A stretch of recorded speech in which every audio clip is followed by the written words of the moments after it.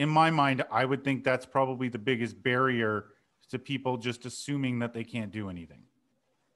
Yeah, I think so. I think that's the biggest barrier for people on the front end, on the, at the at the initial onset, and I and I would agree with it. I think that um, there's a there's a lot like you need capital to be able to invest, theoretically speaking, and I think that you need to go through the process to understand it, but that's just theoretically. You don't have to have money. Problem is, I think that with having done a project um, and learning for yourself and having saved up to earn it and all that, I think that there's a learning curve that goes with that. But once again, it's not necessary. So, I mean, a couple of real key factors that, that I, I think are, are important to note that a lot of people think that money is the challenging part to get, and that's not true. Money is super easy to get. What's really hard to get is a really smoking hot deal and that's that's the cold hard truth. If if I came to you, Henry, and I was like, listen, I've got a I've got a triplex. I just bought it for 150,000. Do you want to partner on it? Would you partner on it? With you, yes. but but I think that that a big part of what makes a smoking hot deal is is your acquisition price, right? And yeah. buying good deals or or buying even a deal that's not necessarily at a, at a great acquisition price, but you can transform that deal into something that's going to be just a dynamite dynamite property. And that's like you know the creative element that goes into these kind of things. But i think that uh, people put a lot of weight into whether or not they have enough savings and they don't put enough weight into the fact that they can add value elsewhere like um, wholesaling for example wholesaling in my like it's wholesaling is coming to Canada now. It, it, it, was never a really huge thing. It was always allowed.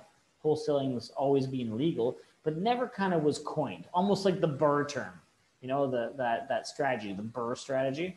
It always existed. People did it all the time, but no one really coined that phrase until maybe like five, six, seven years ago, right?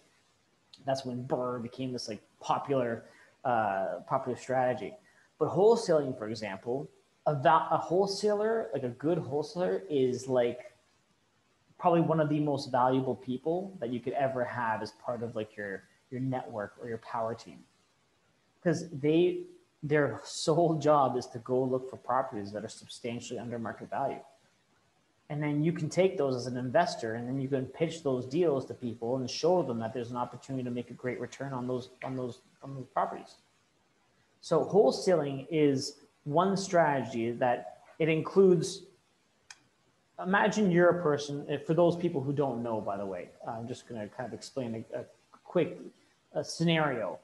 You know henry you own a property and that you're looking to sell it and you don't want to go through the channels of real estate you have to sell it in less than 30 uh, real estate in terms of like agency like listing the property and then waiting all that and then finding a buyer with a closing date all that kind of stuff you need somebody, you need to be out of that house in like 20 to 30 days. Your house is falling apart. It's not in great shape. You're kind of worried that people even came in here, they might judge you or they, their safety might be in, in, in question, right? You need this place gone. So what you do is you find somebody who's willing to pay you cash for your property. Now there's a fee for that, and that fee is a discounted rate in terms of what you would buy the property for. And that's completely fine. Now, now let's say I go, I I come to you, you have this house, and I say, okay, Henry, I'm going to buy your house for two hundred and fifty thousand dollars, and you say, perfect, I'll take it. I'm uh, I'm out of here. Then before closing happens, I can go to Bob, who's an investor, and I can say, hey, Bob, I've got this deal.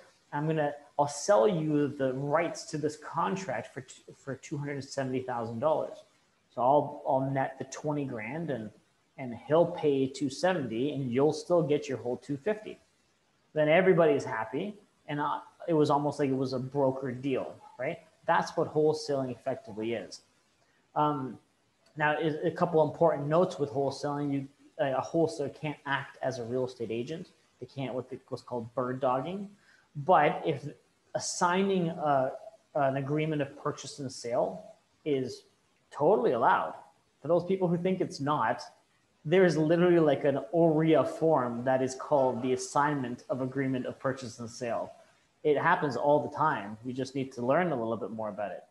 And people often don't think it's it's like, like there's a possibility to what you mean someone just made 20 grand for passing a piece of paper over to another person? Yeah, happens all the time. And that's a way that you can literally get into the market with no money, literally zero dollars. And you can make a ton of money.